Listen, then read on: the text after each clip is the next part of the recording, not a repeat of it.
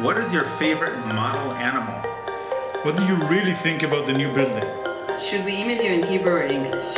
What does your grandmother think you are doing?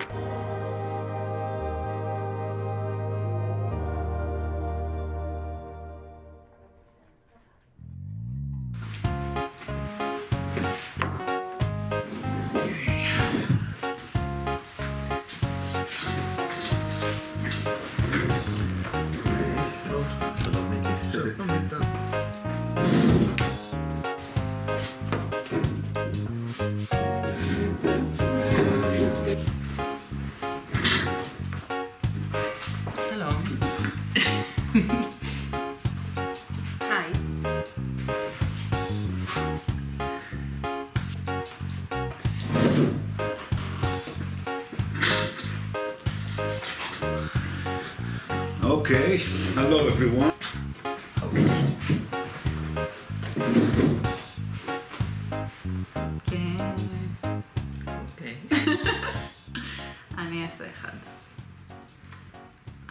Why come to ELSC? because of your interest or for the money or prestige? Definitely for the money. definitely prestige. For me, definitely. It's all about the money. That's an easy question. So much money. So I don't think money here is so good if you compare it to the industry. So, and I'm really into neuroscience, computational neuroscience. So I guess I'm here for the interest. for sure the interest. Like I love brain science, and uh, I think one of my favorite movies was The Matrix.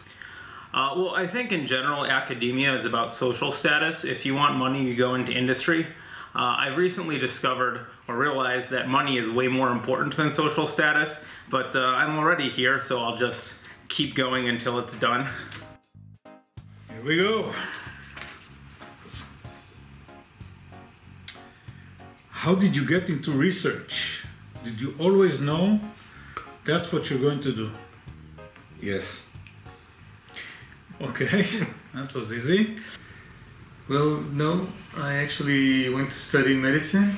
So you know, uh, I'm uh, the grandson of, of a professor, a son of a professor, so it's no surprise that I ended up being a professor. But the truth is, I didn't know exactly what I'd uh, do. I think I had a really inspiring biology bi- biology teacher in high school. Well, the answer is my high school teacher told me that I'll be a researcher and sent me to the Hebrew University. I was 15 years old and we had uh, housing for three weeks in Ein Kerem where I live today, and I loved it. I wasn't actually thinking uh, I'll end up being a professor or anything like that. I just thought it's really interesting and cool and wanted to learn more. Actually, very early on, I knew that I want to be a brain research researcher. I think maybe I was. I think I was in the army. One day I um, I was in the rehabilitation uh, ward and I saw patients with uh, some neuro- neuropsychological um, deficits, specifically neglect, and um, I just got confused and started thinking about stuff like consciousness and how we actually perceive the world and all those philosophical questions and I just couldn't stop thinking about it, and this is actually how I got into research. Personally, I knew from a very, very young age that I'm going to do research. I don't remember if it was uh, six, eight, or ten, but at the age of uh, 12, I was certain that I'm going to be a physicist. So actually, I was going to be an astronomer. And actually, during my teenage years, uh, I was a very active astrophysicist. I actually built a radio telescope in my high school uh, years. Um, I got into research after listening to the a talk on the waggle of the bumblebee, and I got highly excited. The, the bees are waggling. I thought that you know uh, messing up with uh, uh, stuff in the in a regular lab uh, does not fit my character.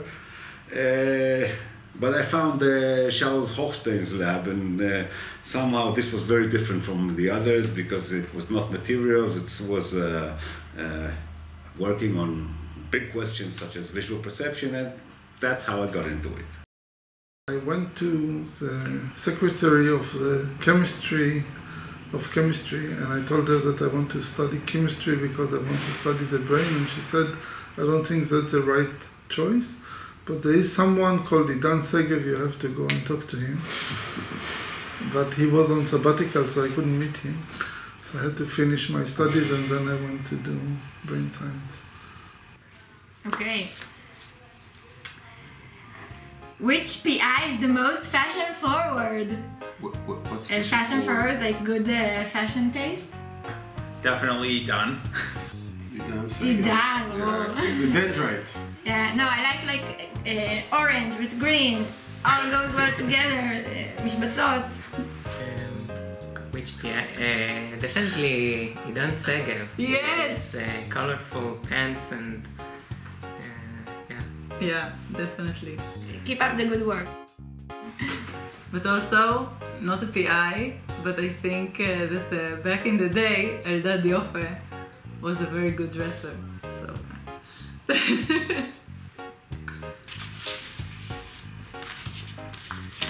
What would you do if you weren't a researcher? Ah, that's clear. I, I would be a barista. Um, I'm th- dreaming about my uh, coffee place at the corner. I even know which corner. I would open a restaurant. I really like to cook. Two things I wanted to do, other than being uh, research, is being a, a film director or a novelist. So that's the two things I would have tried to do. I would like to do to have a, a bike shop something around that Um, I think in high school, my thoughts was ranging from being in, uh, from being a doctor to being in, uh, a social worker or even an actor. So it was, uh, eh, I guess, if I wasn't a researcher, it's really hard to say where I would end up. I would be uh, either a rock star on stage um, or a volleyball player. So if I would not be a scientist, I would do art, maybe writing, a writer of of of, of uh, short stories, or maybe a conductor of classical music, but around art for sure. I wanted to be a historian, then I wanted to be a physicist, then I wanted to be a pianist, then I wanted to be a mathematician, then I wanted to be a physicist, and I ended up a biologist. So, one of these, probably, maybe. I wanted to be a rock star. I still want to be a rock star. and I'm a scientist. Do you feel it's a failure? For this uh, for this round of life, it's fun. Next round, I'll be a rock star. With which PI would you like to grab a beer? With uh, Yossi Cerebellum. Well, more PIs means more beer, so all of them. Eli Nelken. Uh, I would take the female side and say Nomi. It's new, sounds Good, Yeah. All right. How do you manage your time in order to get everything done, but still stay sane? First of all, I don't manage my time. Secondly, I don't I don't get everything done. And thirdly, I'm not sane. Spot on. Actually, I would really want to see the other answers for that because I think I didn't figure it out yet. Mm, Time is interesting. Well, it's easy in my case because I don't get much done, so it's very easy to stay sane.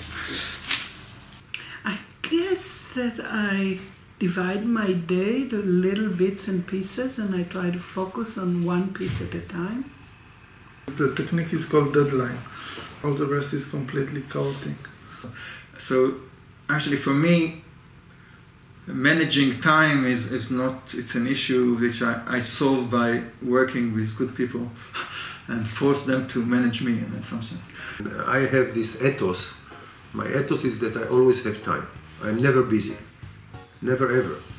I'm very proud of it because if you look at my schedule, it's always empty. Of course, when I teach, it's not, but in general, I'm looking at these very busy professors all the time. You have to schedule a month in advance. I don't understand this. My time is completely available all the time. I'm never busy. That's how I feel. Some people say it's not completely true from their perspective, but from my perspective, time is completely free. And I make it a point to uh, do some exercise every day. So, you know, the way I uh, make sure that I have new thoughts about science and other uh, issues is to walk. Okay, so I walk regularly for at least uh, an hour uh, out in the nature to make sure that I stay sane. What does your grandmother think you're doing? Well, actually, my grandmother, whenever I come visit her, she she always tells me how uh, she has uh, uh, trouble in uh, falling asleep, like she can't uh, she can't sleep. So uh, whenever I come visit her, she's like, "You're in brain something, right? You should do this. You should- research this. Like, why don't I fall asleep?" And I'm like, uh, "I'm sorry, grandma. That's not what I do." But uh, Well, that's my that's what my parents uh, tell me every time. Uh, yeah, they they also want to fall asleep. Uh, not about sleeping, but they Yeah. have a lot of ideas about what, what I should research. I guess my grandmother thinks I'm sitting with a robot shaped like human and basically just trying to talk to the robot and teach it how to do tricks. What do you really think about the new building? It's emphasized really in capital, really, as if uh, usually you don't say the real thing. Well, uh, it's uh, interesting. I think the building has potential. Uh, I think the building is great. I, uh, it's already great. I think the uh, my lab and my office are so nice that I don't really feel the need to get out. That may be the main uh, failure of the building, that the lab spaces are uh, nice enough so that they don't push people out. I really like the new building. I wish it wouldn't be cold in the winter though, so we could actually enjoy it also when it's freezing outside. What would you do instead of the out of use canal, water canal? Actually, what I would do is actually put uh, fish inside and I would cover it with glass so that you can actually stand above it and look at the fish. Probably put some flowers in. Yeah.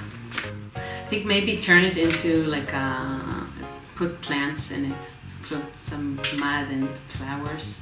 That would be really really nice. I actually really like the canal and I wish it would work. It reminds me when I was a student, I was uh, working as a guard in the Israeli Museum, and once I was sent to uh, spend the night in the Rockefeller Muse- Museum next to the old city, and it has a beautiful uh, small pool outside. And this pool outside actually reminds me of that one, and I think it's kind of it's. Uh, I really like it. I wish it would work.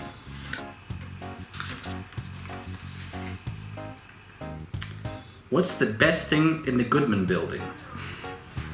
The Best thing, are you sure?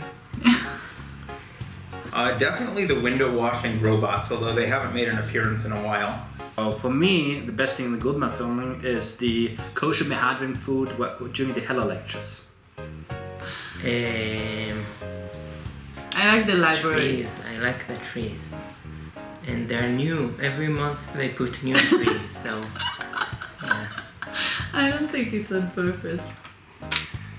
Would you like to see more free-spirited artistic activities at ELSC? Music, theater, poetry. This is dance yes, person? yes, I would. definitely. Yes, I would. Open up the gallery. I plan to even do something about that. Yes. like that. Yeah, Uh, of course. It's like the best uh, feature of the brain, I think.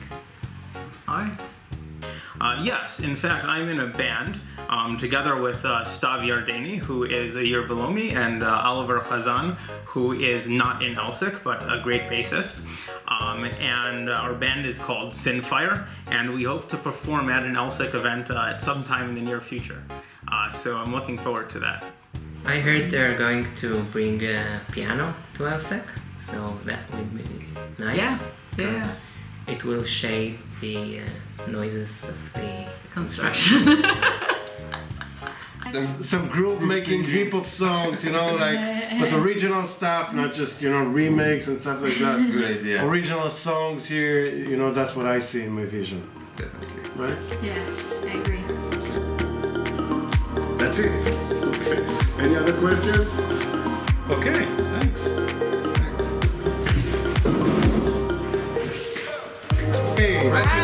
To. Thank you. congrats.